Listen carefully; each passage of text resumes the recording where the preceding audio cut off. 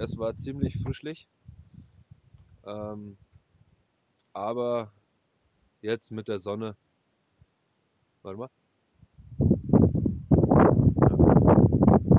Sieht man nicht so gut.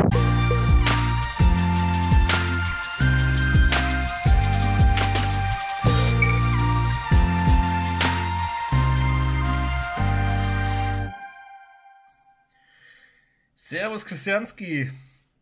Deine Challenge-Aufgabe lautet wie folgt. Mach mir bitte ein Bild von einem Sonnenstern. Das war's auch schon. Moin Leute und danke Svenski für diese tolle Challenge. Ähm, es ist kurz nach sechs. Ich bin auf dem Weg zum, zum Sonnenaufgang. Ich habe hier in Finnland eine ganz nice Location gefunden, hoffentlich mit einem mit einer guten Aussicht Richtung Sonnenaufgang. Das heißt, der Sonnenstern dürfte eigentlich machbar sein. Und vor allem heute ist wolkenlos. Es hat hier, glaube ich, gerade minus 3 Grad oder so. Ich habe auch gerade echt ähm, das Auto freigekratzt und so. Ja, warm ist anders, aber die Failers lassen sich natürlich durch sowas nicht abschrecken. Das Auto wärmt sich gerade noch ein bisschen auf. Mir ist gerade ziemlich kühl noch tatsächlich. Aber naja, egal. Auf jeden Fall. Wir sehen uns dann am Spot und hoffentlich kriege ich einen geilen Sonnenstern hin, damit ich die Challenge gewinne. Also, bis dann.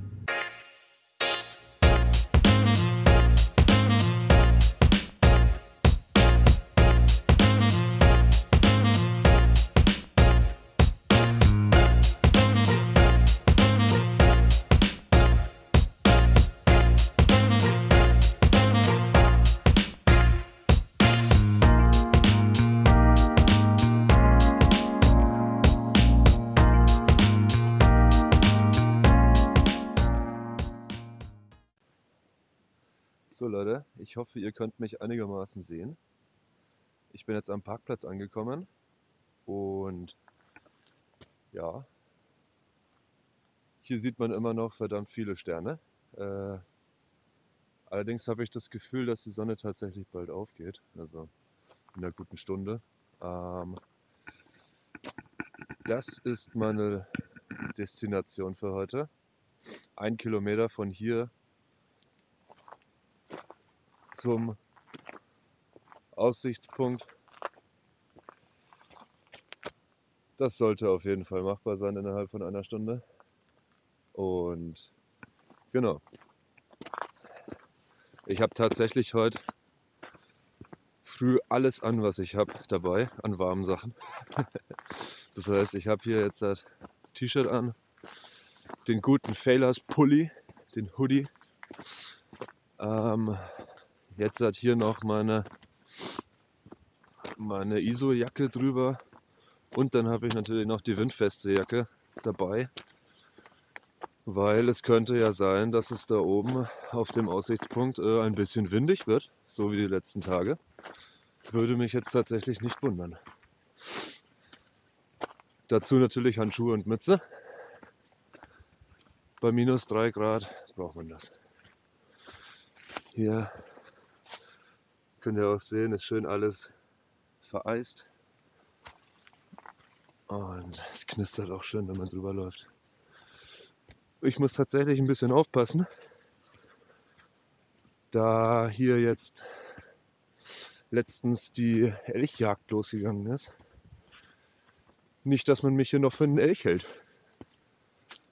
Und dann ja, aus Versehen einen Fehler mit auf der Abschlussliste hat. Das wäre natürlich ärgerlich. Ich weiß auch nicht, wie es hier mit, mit Bären und Wölfen ist. Würde mich jetzt auch nicht wundern. Ähm, von daher, ja. Schauen wir mal. Ob wir hier heile wieder rauskommen. Aber ich denke schon.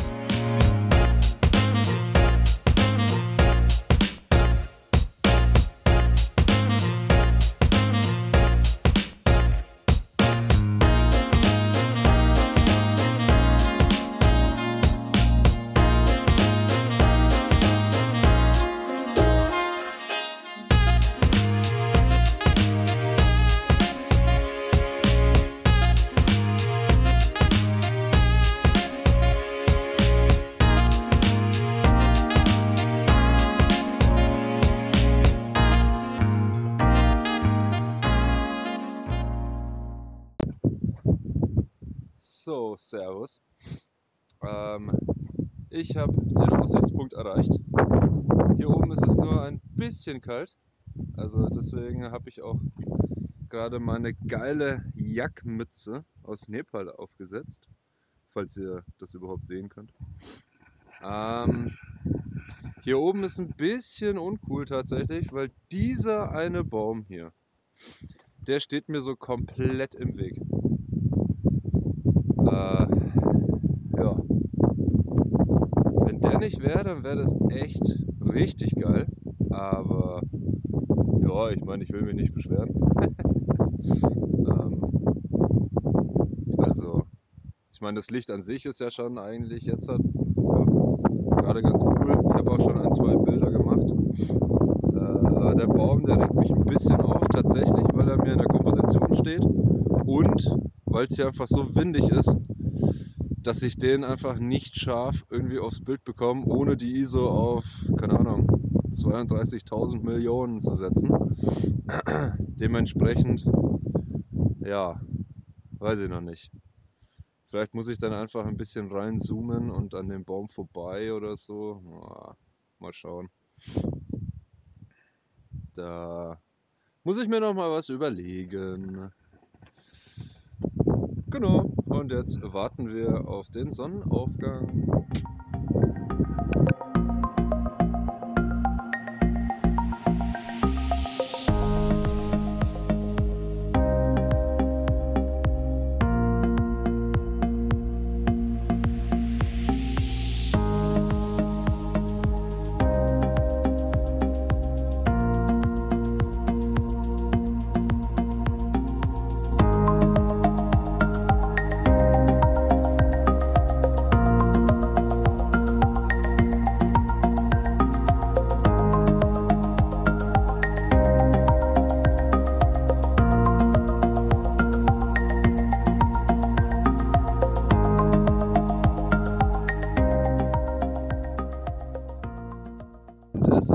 10 Minuten vor Sonnenaufgang.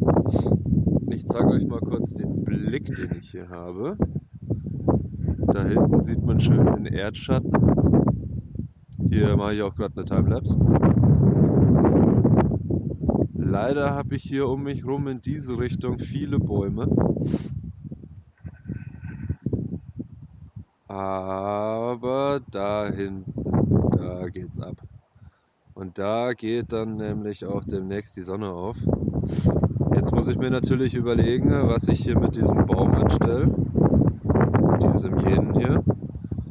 Der natürlich genau in meiner Komposition steht für eine schöne, weite, ja, so ein Grand View Vista Bild.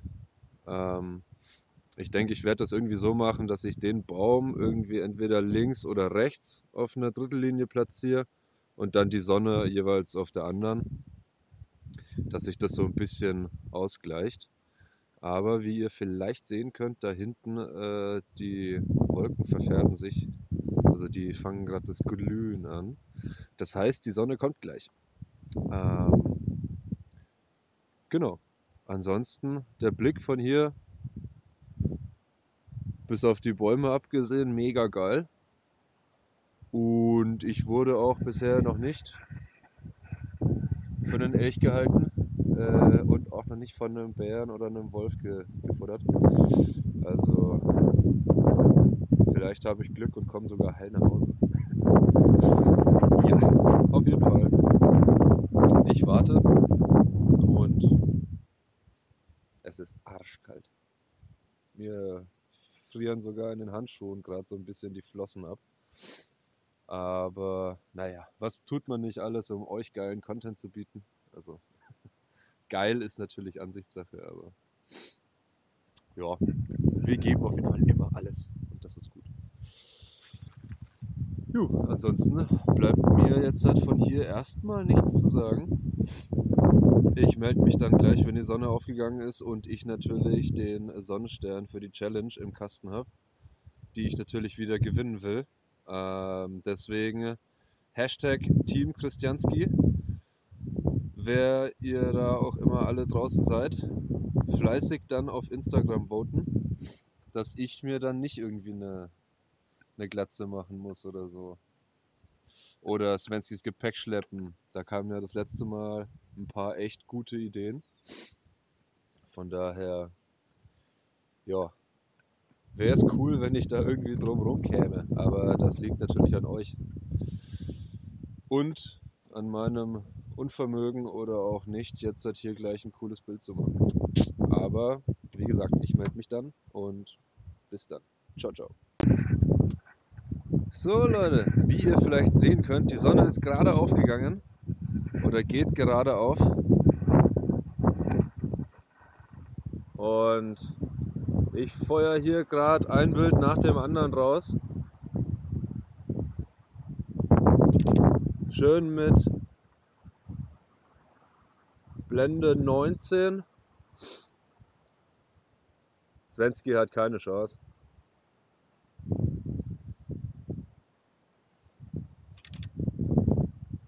Oh ja, das ist ein Stern. Das ist ein Stern. Mal schauen, ob diese Challenge wieder an mich geht. Aber also ich will ja Svenski nichts, nichts Negatives oder Böses wünschen oder so, aber ich würde die halt schon gerne auch gewinnen. Ne? Von daher äh, ja, wartet kurz. Uh, das sieht geil aus. Uh, nice. Jetzt ist gerade windstill. Der Baum steht still. Oh, das ist super. Geil. Noch eine. Oh shit. Okay. Also das ist jetzt eine gute Belichtungsreihe gewesen. Damit kann man arbeiten. Und der Stern ist auch drauf. Leute, was will ich mehr? Ähm, ich kann euch aber hier zeigen, wie das ausschaut. Vielleicht seht ihr was, ich weiß es nicht. Vielleicht seht ihr auch einfach nur die Kamera, die ich gerade halte. Das ist auf jeden Fall meine Komposition. Wie gesagt, der Baum auf der linken Drittellinie und die Sonne genau auf der rechten oder ein bisschen weiter rechts jetzt. Ähm, aber ja, ich denke, das wird ein ganz nices Bild. Der Himmel ist ein bisschen langweilig, aber tatsächlich für den Sonnenstern macht es mir jetzt gar nichts aus. Oh ja. Ja, das ist ein Stern. Perfekt. Ja, jetzt bekommt hier auch die restliche Landschaft ein bisschen Sonne ab. Hier läuft noch eine Timelapse für euch. Schön, wie die Sonne die Baum Baumwipfel küsst. Ah, ich glaube, das wird ganz cool. Aber ich will den, ja, den Tag nicht vor dem Sonnenaufgang loben. Können wir das so etablieren als neues Sprichwort, bitte?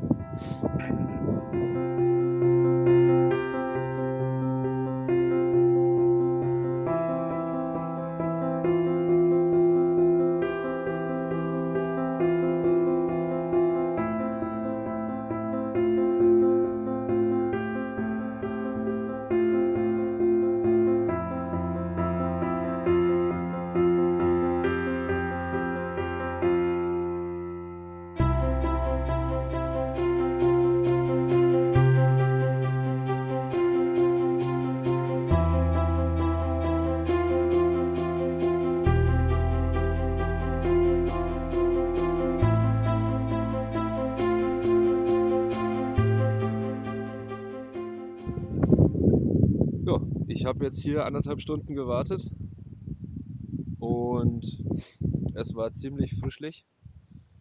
Ähm, aber jetzt mit der Sonne. Warte mal. Sieht man nicht so gut.